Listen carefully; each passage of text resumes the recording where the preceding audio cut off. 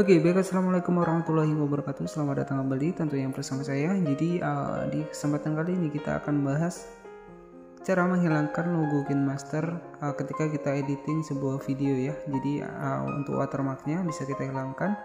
Dan di sini kita langsung saja ke dalam tutorialnya ya. Oke, di sini kita langsung saja masuk ke dalam aplikasi dari KineMaster ya teman-teman ya. Oke, KineMaster ini kita gunakan untuk editing dari YouTube maupun Fanspack ya. Oke, di sini tinggal kita pilih saja uh, 16 banding 9, kemudian kita klik saja bagian buat. Oke, jadi seperti ini teman-teman ya. Oke, jadi untuk tampilannya akan seperti ini. Silahkan teman-teman bisa masukkan saja untuk videonya. Jadi sebagai contoh di sini admin akan masukkan video yang ini ya. Oke, seperti ini. Tinggal kita klik saja di bagian X ya. Oke, jadi di sini saya sudah pilih ataupun sudah memasukkan videonya. Tinggal kita klik saja di bagian X Oke, jadi otomatis di sini masih ada watermarknya ya. Jadi di bagian atas masih ada watermark dari KineMasternya. Kemudian cara untuk menghilangkannya tinggal kita klik saja bagian videonya. Kemudian kita pilih di bagian pan dan zoom ya. Jadi di menu pan dan zoom kita klik seperti ini. Kemudian setelah seperti ini, tinggal kita klik saja di bagian menu sama dengan. Oke, setelah kita pilih di bagian sama dengan ya. Jadi di sini uh, ketika logo merah ini sudah berada di uh, dua video ini. Silahkan teman-teman bisa diperkecil saja untuk videonya seperti ini. Oke jadi kita paskan sampai kinemasternya hilang teman-teman ya. Oke jadi kita bisa atur mundur ya. Oke jadi kita atur mundur seperti ini. Jadi sebenarnya untuk cara menghilangkan kinemaster dengan versi yang uh, berbayar itu sangat mudah ya. Tetapi di sini kita versi gratisan kita bisa menggunakan trik seperti ini Oke, jadi ya ketika kita klik di bagian sama dengan, jadi tadi di bagian menu pan dan zoom ya.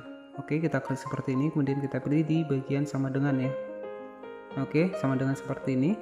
Kemudian kita mundurkan ya, kita paskan saja seperti ini. Kemudian eh, setelah seperti ini, tinggal kita save saja teman-teman ya. Tinggal kita save dengan cara klik saya di bagian uh, tanda panah di sebelah kanan atas, kemudian kita pilih di bagian simpan video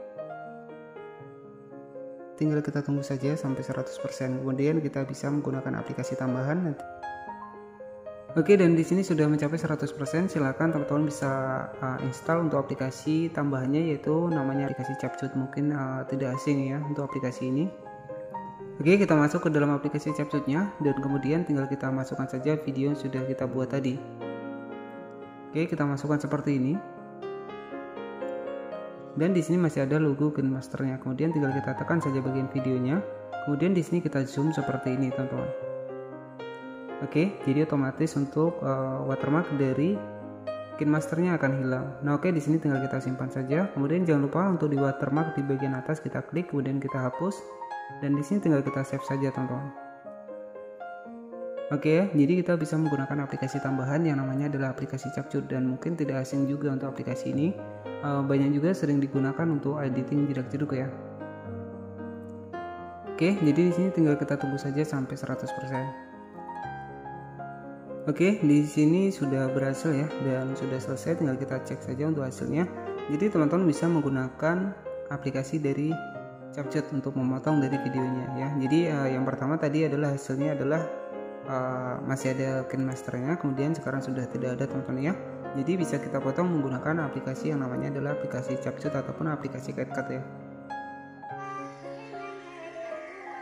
Oke, jadi tanpa merubah dari ukuran video ya. Jadi teman-teman bisa lihat ya. Jadi sudah hilang untuk watermark dari KineMasternya. Oke ya, jadi cukup seperti itu saja untuk cara menghilangkan watermark di KineMaster. Nah, semoga bermanfaat. Jangan lupa buat klik tombol subscribe dan aktifkan lonceng notifikasinya. Agar teman-teman mendapatkan pemberitahuan terbaru dari channel ini. Oke, selamat malam, selamat beristirahat, dan wassalamualaikum warahmatullahi wabarakatuh.